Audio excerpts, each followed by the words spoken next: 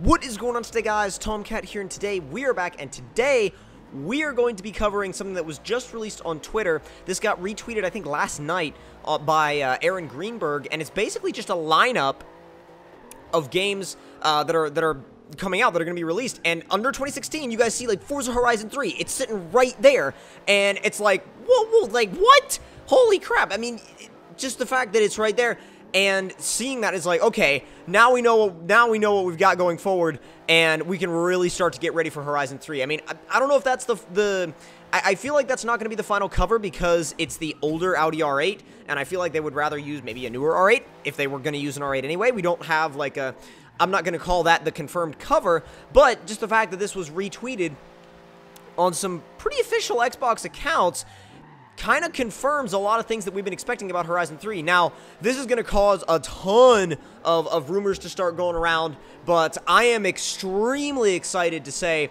that this pretty much means that Forza Horizon 3 is, uh, it's there, we're going for it, and it's, it's, it's really going to happen.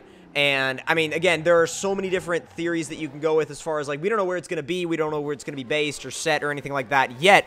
But this absolutely means that it's coming out and it's going to happen and it's in like it, it's, it's gonna be in 2016 it's, it's gonna be it's gonna be here next year. So super super excited and I can't wait to see more on Horizon 3 um, so pumped for it because I was a huge fan of Horizon 1, huge fan of Horizon 2. I know you guys love seeing Horizon 2 on my channel, and I can't wait to get into Horizon 3. So, if you guys enjoyed this little bit of news, then don't forget to leave me a like. Tell me in the comment section down below what you guys thought of it. And if you're new to my channel, don't forget to subscribe for more. There will be more of the Crew Wild Run coming later today, today so stay tuned for that. And happy Thanksgiving. Hope you guys uh, have a great time this holiday season. So, again, hope you guys enjoyed, and I will see you guys in the next one. Talk to you guys later. Hope you guys enjoyed.